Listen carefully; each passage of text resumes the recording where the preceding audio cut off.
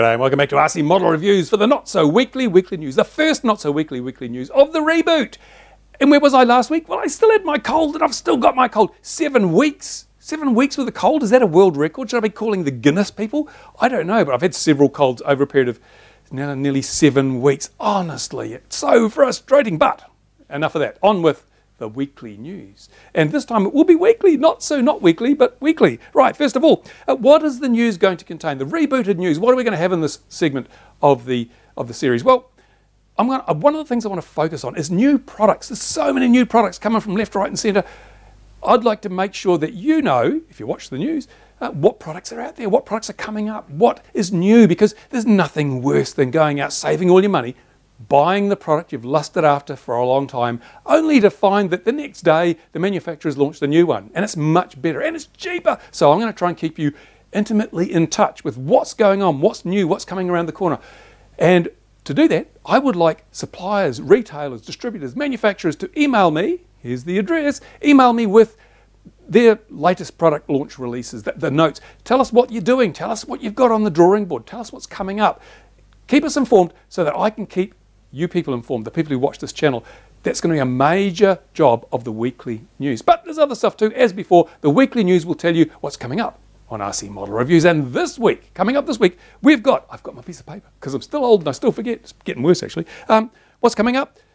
OLEDs. OLED technology, organic light emitting diodes. What, what is it? Well, an increasing amount of our smartphone technology, our large screen TV technology, and now video FPV glass technology is using OLEDs. OLEDs are different to LCDs. I'm go I've done a video, I explain the difference between LCDs and OLEDs, the strengths of LCDs, the strength of OLEDs, the pros and cons of each, and how basically this technology works and what you can expect from it because Fat Shark have launched their HDOs. Everybody's raving about them. They are almost everyone that I've heard talk about them said they are the best video glasses on the market. And I don't doubt it from the perspective of the optics and having those wonderfully bright, high contrast, sharp OLED displays. But but there's one thing we've got to consider. I don't know, I've seen very little talk of it.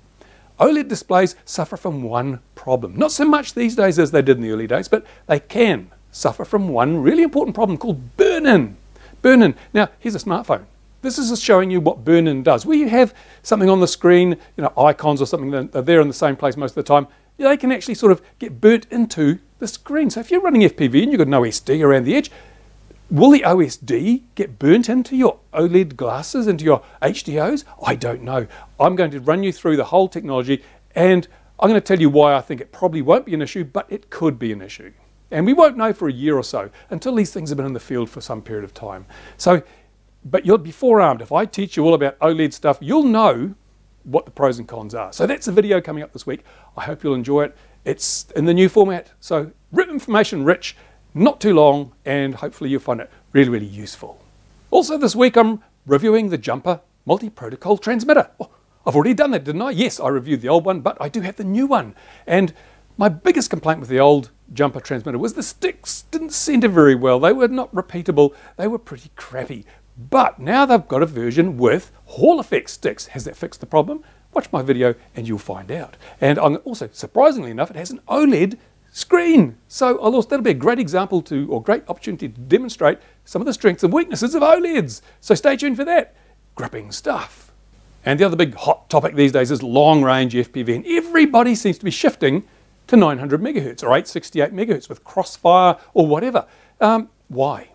In fact, is that the best option? Is crossfire the best option? Everyone seems to think it's great, and generally it works pretty well. But it's not always the best option. Neither is 2.4 the best option all the time, or 433. So I'm picking up the ball from the long range UHF reviews that I started some time ago. And I'm going to do a, this week I'm looking at how to choose the right band for your RC gear. Because we have a lot of bands to choose from. Everything from 27 megahertz. Some countries have 35 and 40 megahertz. We've got 72 megahertz in some countries. Then you go up to your 433, you go up to your 868, 900. Um, what do we got after that? Uh, 2.4. And in fact, there's other frequencies we could use for radio control use. Which is the best frequency for you? Well, there are a lot of factors involved. I'm going to explain how you can choose because depending on where you are, the type of environment you fly in, the number of people you fly with, the type of video transmitter gear you use, all of those things will have a bearing on which is the best band to use for your if radio control, even if you're not long range, even just line of sight. All of the factors that will affect which band is the best, which set of frequencies is the best, I will be discussing them. You can make your own informed decision. And it's not as easy as you might think. And then again, if you're flying long range, you'll need FPV because line of sight isn't long range. Now, that brings up the vexing question how much FPV transmitter power do I need? How, you know, how much is enough? I've seen a lot of video gear coming onto the market recently boasting 800 milliwatts, 1 watt, 1.5 watts of power on 5.8 gigahertz. Seriously, do we need that much? Well, I've done a little bit of a test. I've set up a test rig. I've got uh, a transmitter which does 25, 200, 4, 500, and 800 milliwatts. And I'm just I'm showing you the difference between the different power levels at different ranges. So you can determine for yourself how much is enough. Also, I'm looking at the effect that a good receiver antenna will have because I'm, I'm a believer of the school that we should be flying with the minimum power we need and the best antennas we can afford. That gives us the ability to fly below the radar. And that's important. Why is that important? Well, on the 11th of July, a what is it? I wrote it down here. A um, House subcommittee discussion took place between members of the House and interested parties, which is like the, the drone industry and various other parties, talking about really important things like a revision of Section 336. 366, which is it? 336, I think it is, in the USA. If you're in the USA, you know what that is. That's the special dispensation that lets you Americans fly your radio controlled models under the auspices of a community based organisation that gets you out of the regulatory tangle of framework that is the real aviation world. So it's really, really important. But there are now there's now huge pressure coming from certain parties, including the FAA, to throw Section 336 out the door, kick it out, throw it, you know, flush it. And that's not good. That's not good at all. So I put a link in the description of this video to a video stream of that discussion. You really want to have a look at it. It is shocking. You'll be shocked. It's quite long. It's two hours long or something. But you know, I will. Uh, in fact, watch my XJet channel. And the next day or so, I'll be putting a rant up about this because it's so important. It needs to be ranted about.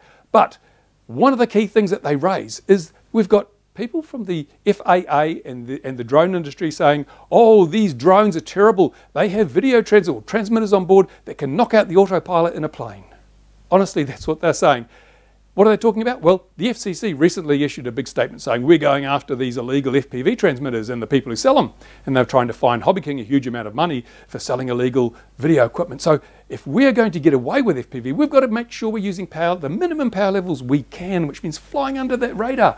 And so you need to know what's the minimum you can use. There's no point in putting a one and a half watt transmitter on your model if your antenna's crap and your setup's crap because the guy next to you with a 200 milliwatt transmitter might get three times as fast. So I'm going to talk about how much power you need, show you some practical demonstrations, talk about the science on the whiteboard showing you how power affects range and how antenna gain affects range. And you'll know, you'll know the best way to set up your FPV system, whether it's for just flying nearby or for the longest flights you can manage. So that's it. That's the first weekly news of the reboot. I hope you've enjoyed it. I'd like your comments. Go to the comments section below. Tell us what you think. And also, if you've got questions, put them down there.